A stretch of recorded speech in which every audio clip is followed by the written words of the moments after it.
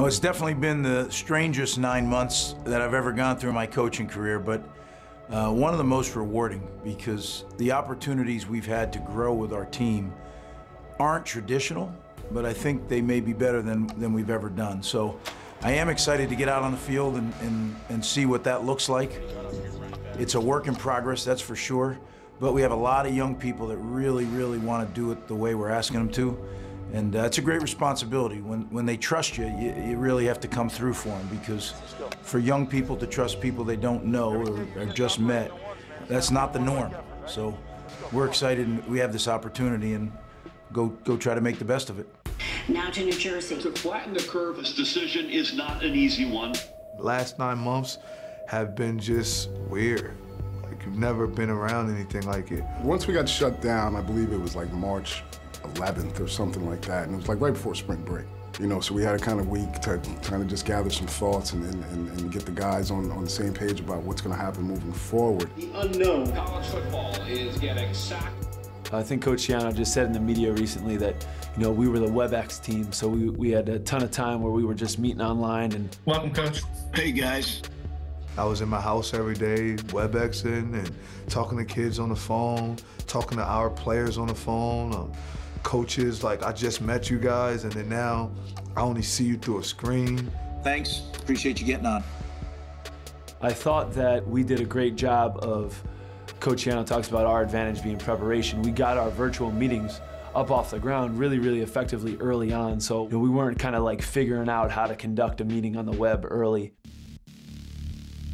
It's official. The Big Ten will not play football this fall season. This was going to be a day-to-day situation.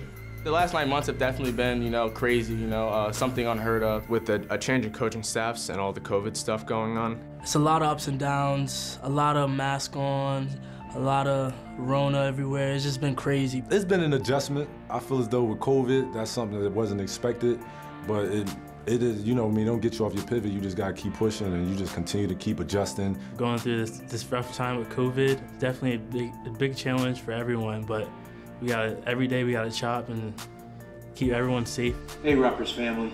It's been two days since the Big Ten season was postponed. I know how disappointed you are. We feel the same. But our players realize people have it a lot worse off than just not being able to play a football season. I'm, I'm glad coach is here and the coaching staff that we have because the support for our guys in that transition to help has been tremendous. They finished out the semester in, in the spring with the best GPA we've ever had in Rutgers football history. They did great over the summer, and it kind of got us ready for, for right now. Great week. The way to make this even better week is to finish it right now. Ever since Coach came back, since the first day, we've been challenged physically, mentally. You know, it's it's been a great like start of the journey because that's how kind of I see it. We're just getting started. I was excited about having a new staff. Immediately, I saw like uh, more structure and, and things was changing. We will never, ever lower our expectations. Ever. Once we built the relationships with Coach Schiano and Coach Frazier and the different coaching staff, I feel like we're in a good place. Once I got to know everybody.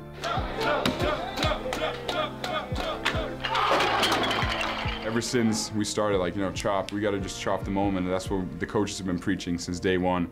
And even though we didn't know if there were going to be a season or not, we still have to, you know, prepare like it is. That's what we, we're doing and uh, what I'm doing, and that's pretty much the only way you can do it. You know, with everything going on, just keep chopping.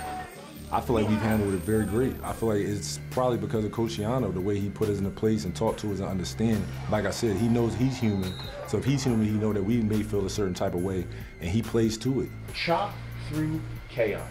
Keep going when the whole world's breaking loose around you. So I feel like having him in our corner, understanding how we feel, has really helped us, and it allows us to push through the COVID stuff. Even when we weren't sure if there's going to be a season or not, we had to, you know, chop and prepare for it. Because, like, the journey is just getting started, and I'm super excited to have a bunch more years with Coach Schiano, so. We are following breaking news. Big Ten football. Big Ten football coming back. One, two, three, chop.